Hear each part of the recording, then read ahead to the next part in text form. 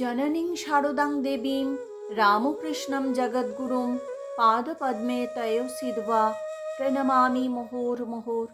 নমশ্রী জ্যোতিরাজায়, বিবেকানন্দ সুরায় সচিত সুখস্বরূপায়, স্বামীনে তাপহারিণে। নমস্কার, ঠাকুর, মা, স্বামীজি, রাতুল চরণে আভূমি লুণ্ঠিত প্রণাম নিবেদন করি। আজকের অনুধ্যান পূজ্যপাত স্বামী ভূতেশানন্দজি মহারাজের স্মরণে ভক্ত সঙ্গে কথোপকথন। ভক্তের প্রশ্ন, মা এক জায়গায় যোগিন মহারাজকে বলেছেন যে, গুরুগৃহে এলে আর জপ করতে হয় না। উত্তরে পূজ্যপাত মহারাজ বললেন, গুরু আর ইষ্ট তো এক। যদি গুরুর ওপরে সেই বিশ্বাস, ভালোবাসা থাকে, তাহলে যার জন্যে জপ, তাকে তো সামনে দেখছি। তবে কেন জপ করা? তাই জপ করতে হবে না। খালি মায়ের আদর খাও। মন্দিরে গেলে ধ্যানের দরকার নেই, বিগ্রহ দর্শন করলেই হয়। মহাপ্রভু গৌরস্তম্ভ থেকে দাঁড়িয়ে জগন্নাথকে দর্শন করে তৃপ্ত হতেন। কোনো জপ তপের দরকার হতো না।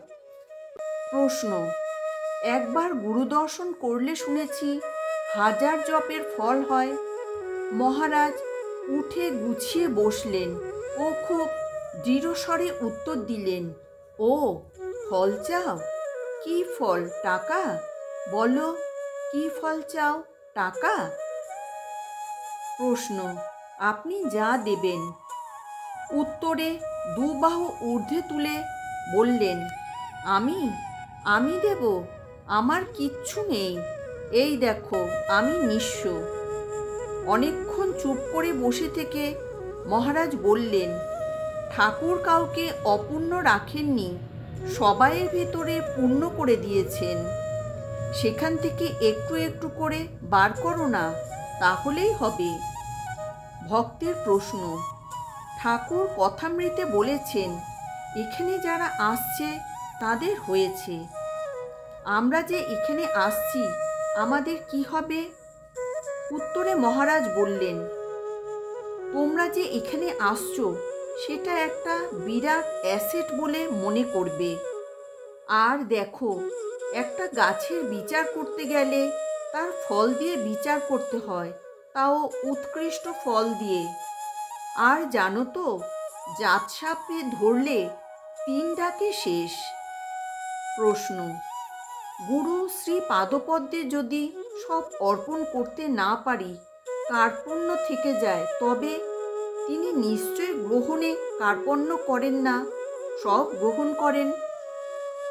উত্তরে মহারাজ বললেন, তাকে না দিলে তিনি কি জোর করে কেড়ে নেবেন? প্রশ্ন, উত্তম বৈদ্য তো বুকের ওপরে হাঁটু গেড়ে বসে ওষুধ খাওয়ান। উত্তরে মহারাজ বললেন কিছু নিতে হলে দাম দিতে হয়।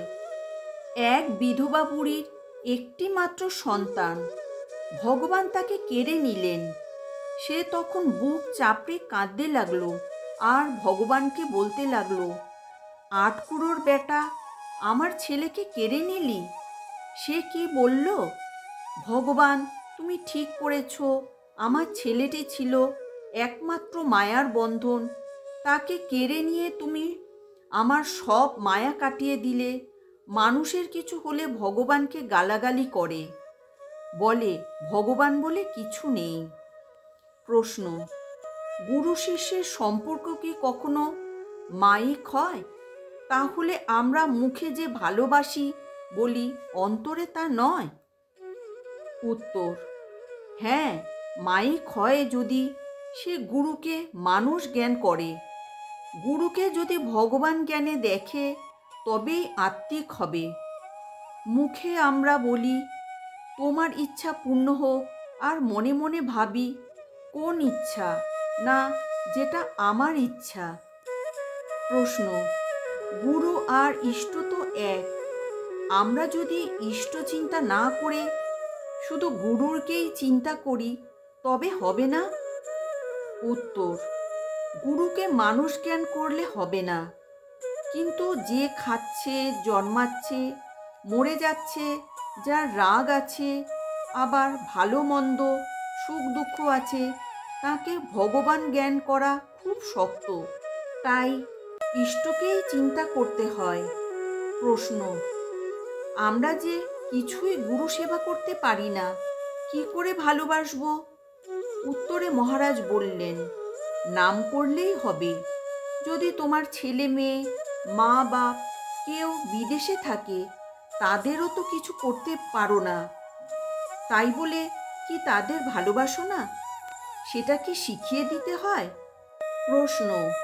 যখন গুরুকে ধ্যান করি, তখন তাকেই চিন্তা করি। আবার যখন ঠাকুরকে মানে ইষ্টকে ধ্যান করি, তার রূপই চিন্তা করি। কিন্তু লয় করে দিতে পারি না। ঠিক একটা পৃথক ভাব থেকে যায়, রূপটা আলাদা থেকে যায়।